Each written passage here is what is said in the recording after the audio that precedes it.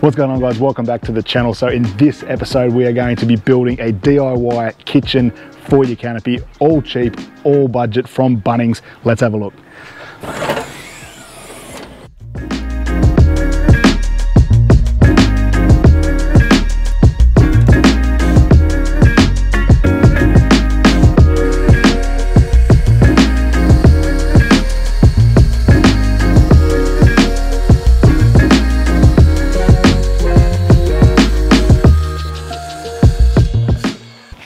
So now that we've got our three sides and top all made up, we can go ahead and start putting it all together. So what we're gonna be using is Selleys liquid nails. This stuff is unreal. And just some your run-of-the-mill building screws. So let's get all this stuff knocked together and see how it turns out.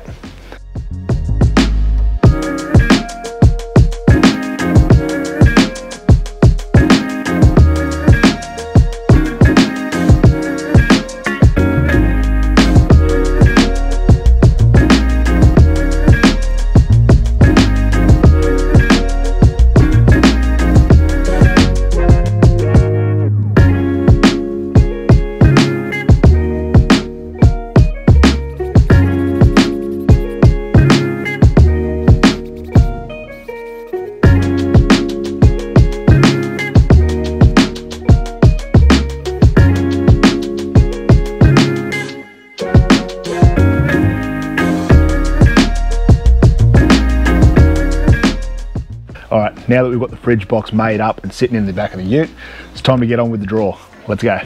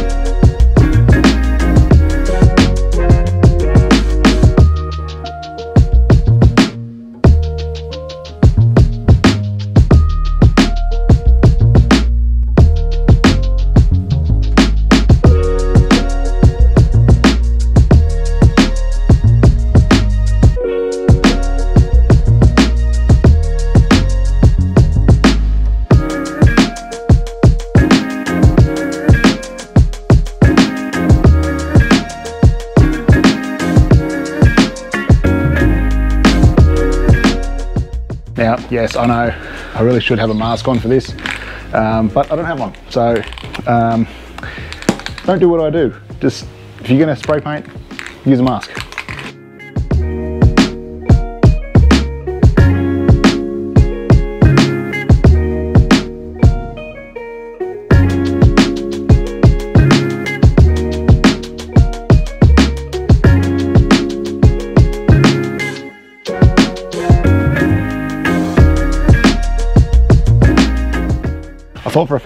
About whether to paint the inside or not, but I don't know, just looking at the plywood, I think it's gonna look a lot better with the black in there than just normal plywood, but I don't know, what, what do you guys reckon? Do you like the sprayed inside or would you rather it be, you know, natural timber look or stained or something like that? Let me know what you think in the comments.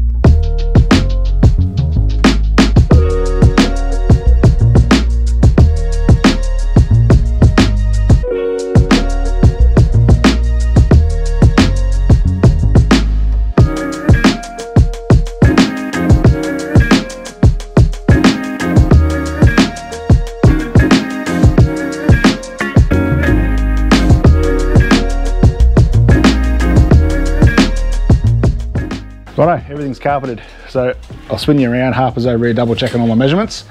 Where does it look, bub? Does it look, looks good? Yeah. so I've done everything in individual pieces of carpet like you just saw. And we've got the inside sprayed black. Is that good? Does it look good? No. It's off.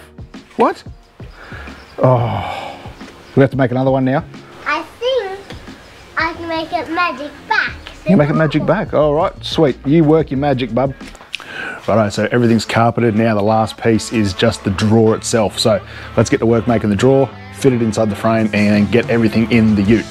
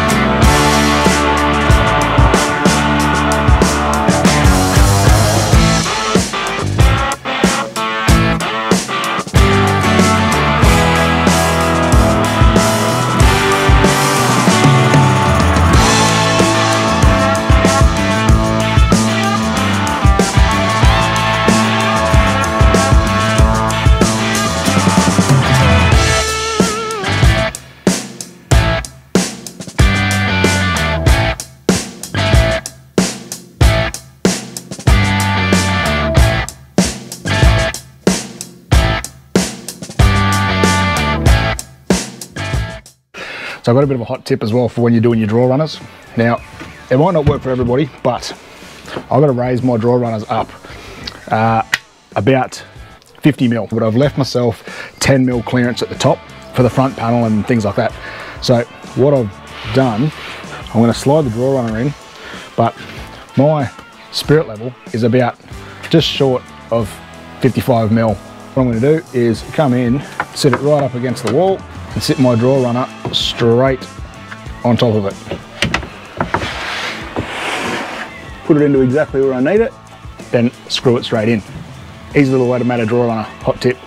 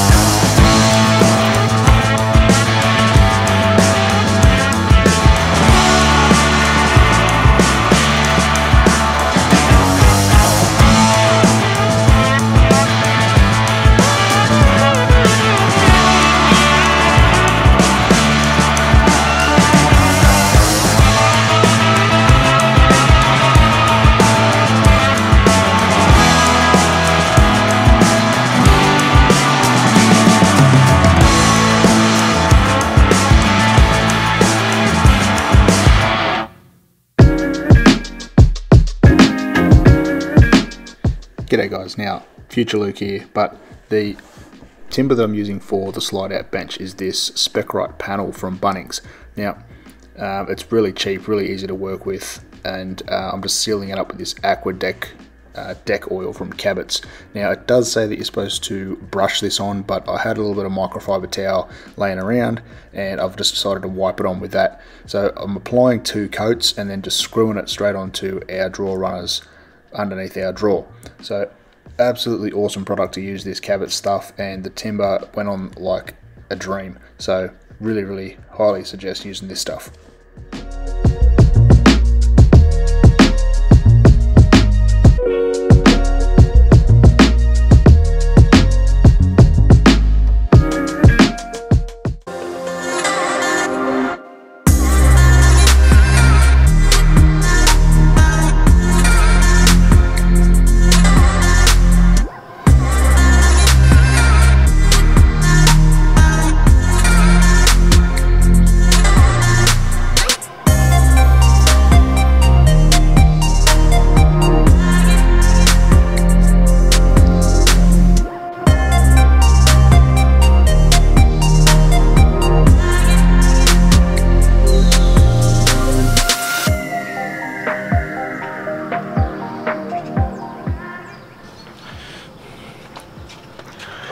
Righto, so just like that, this DIY kitchen build is done. Now, this has been by far the biggest build that I've ever sort of tried to undertake by myself. And to be honest, I could not be happier with how it's turned out. Now, you guys have probably already picked it from the last little sequence, but we have decided to go with an upright fridge. Now, if you guys want to have a look at the fridge itself, why we've chosen it and how it works with our setup, then go over and check out the video on screen now. But until then guys, get out and about. We'll see you in the next one.